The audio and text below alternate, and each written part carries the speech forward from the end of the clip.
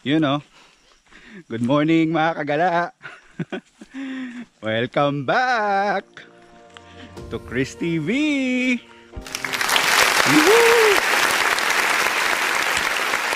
Ah, nandito tayo ngayon sa Barangay San Mateo sa bayan ng Norsagaray. Ah, papunta tayo dito sa Maramo River. Hindi ko na kinover yung papunta rito kasi ah, na-vlog ko na siya noon kung paano puntahan. Ah, lalagay ko yung ah, link dyan sa taas dito. Yan. Lalagay ko dyan. Ah, lalagay ko doon yung link nung uh, una kong vlog dito. Ah, yung pinakita ko doon kung paano makarating doon sa Marabo River. Ah, starting point ko yata noon is ah, sa Santa Maria. So pumunta nga tayo dito no para malaman kung ano yung bago. Ah, paano paano ma- makapunta doon ng tanawin. Ah, medyo kakaiba tong dinaanan ko ngayon no. Dito ako tinuro nung pinagparkan ko. Kasi mas mabilis daw yung daan dito. Mas mabilis daw ako makakapunta pag ah, tinaha ko tong daan na to. Hindi na ako kumuha ng tour guide pero dapat talaga may tour guide eh. Eh since um, pangalawang beses ko nang punta to dito, ah, hindi na ako kumuha ng tour guide kasi alam ko naman na yung alam ko na kung paano siya puntahan. Tara, samahan niyo akong tuklasin kung ano bang ah, ano bang bago sa Maramo River. Tara.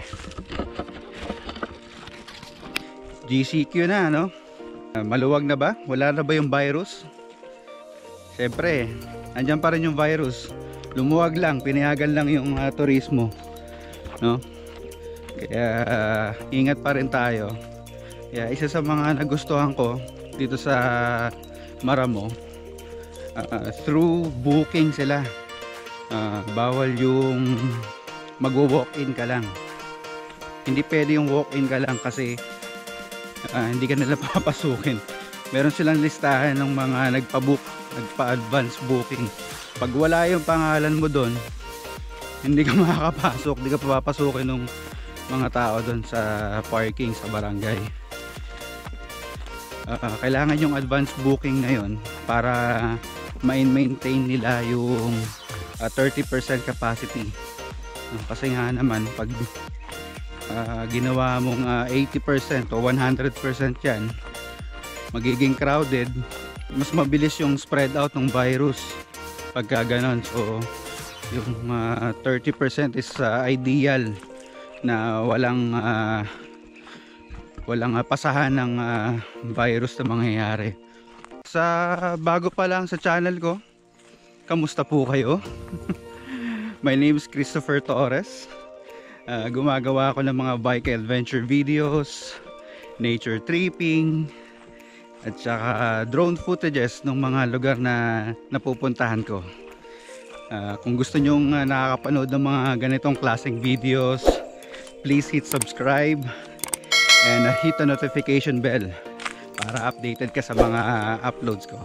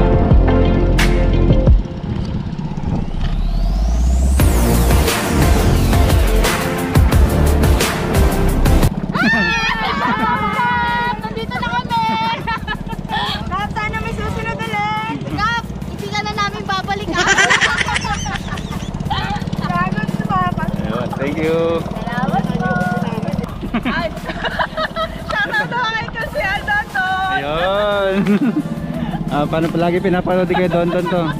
Shoutout po, Don Don. Ako si Aldoto Rayo. Mga taga-LSB po kami. Ayun. LSB, Phase 4.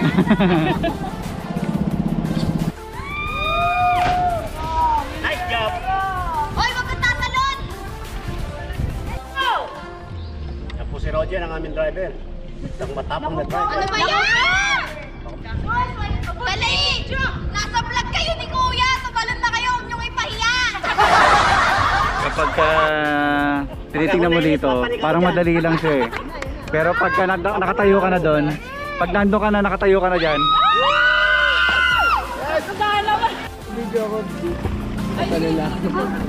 yun, perfect, tama yun. Ah, ganyan, ganyan, ganyan. Oo. Baka sumagi ka dyan sa kahoy ah. Mataas eh. Pababa, hindi namin makukuha. Ka saya dyan. Okay na!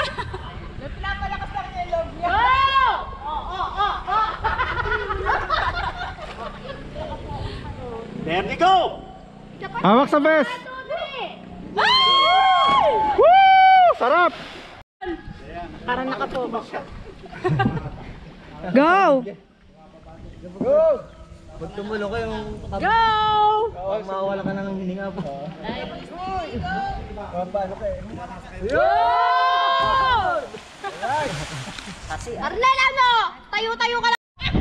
Ayan guys, so for the second time tumalon ako sa Maramo. Ang sarap, kaso nga lang masakit pag tumama yung puwet mo. Kailangan tama yung bagsak mo eh. Hawak sa vest, ganyan. Tapos, yung paa mo dapat nakaklose na ganon.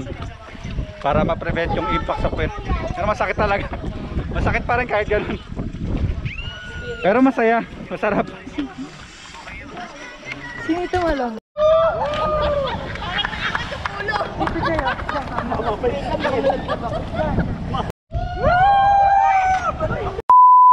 Alanganin yun. Sakit.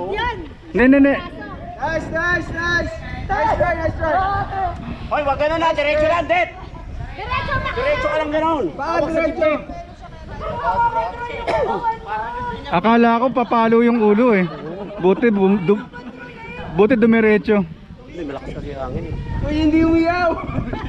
Hindi umiyaw! Kuya, hindi umiyaw! Kuya! Tatalon na yan! May video! Walang hiyaw! Walang hiyaw! Nice, Alam nice! mo yung pagbagsak ko, parang inikot ako ng hangin. Kaya tita to! Ah, hindi mo sinadya yun? Hindi mo sinadya yun? Kala ko sinadya mo yun. Parang lakas ng hangin. gano'n, oh. Malakas ang hangin talaga. Tama daw. Hinangin pala siya. Kala ko ginawa niya talaga yun. Ganun mo sa akin. Naman siya, oh. Ah. Wala po kasi yung mga Walang pabigay ka?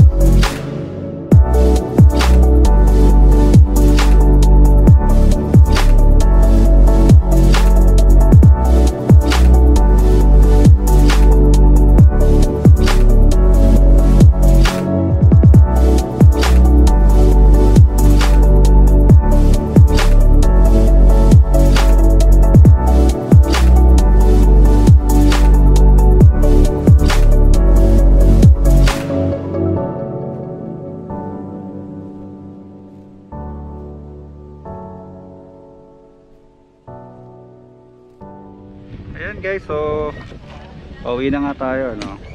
Yang nakikita nyo daan na yan, ah, papuntang ah, San Mateo Elementary School yan. Tapos papunta doon, ah, yung sa Secret Haven nga. Tapos yung pinagparkan ko, banda ron, kay Ate Florence. Pero isa lang din yan, meron din parking dito. Mga tour guide to mga to, naghihintay sila. Yung hawak na libro ni Kuya na yun, doon nakalista yung mga nag, na- nakabook. So para makapunta ka nga dito sa ano, sa Maramo River, kailangan nakabook ka doon sa Maramo page. Kasi kung hindi, ah, hindi ka makakapasok. Mas maganda talaga nakabook ka kasi si Kuya tatanungin niya talaga kung kung nakabook ka. So dito yung parking nila. Ayan. Um, yung details sa parking fee ilalagay ko na lang dyan sa gilid. Ayan, Ate Florence. Hello. Dito yung parking. Tapos, meron pa isa banda ron. Pwede kang mag-park para mas malapit. No? Ayan, si Sir Paul. Shout out. Shoutout po, Chris TV. Salamat. Salamat. Ayan, usapang shoutout, may nagpapa-shoutout. eh, shoutout kay ah, Edward Bernales. Ah, shoutout sa sa Revo Fam, ah, Suzuki FI Revolution. Shoutout. And shoutout sa kaklase ko si Isay Isay Silverio. Ah, pinapa-shoutout niya rin yung ah, Team Ahon. Si Aya, Sheila Lala, Alicia Esteban Fresno. Shout shoutout sa inyo. Ayan. So, wala pa rin pagbabago tong lugar na to. Napakaganda pa rin. Saka, napaka-accommodating ng mga tao. Um, pasalubungin ka nila talaga ng nakang, nakangiti. Nakakatawa. At saka, talagang asikasuhin ka pagdating mo doon. Ah, masikaso si Ate Jen tapos yung nasa front desk. So wala kang masabi, magandang lugar. Mababait na mga ah, nagbabantay. Ayan, ito yung parking kay Ate Florence. Ayan si Ate Florence. So dito kayo magpa-park pagka pupunta kayo ng ano ng ng Maramo. Tapos meron pang isang parking nga doon. Mas malapit yung banda doon, doon ako nag-park. Eh.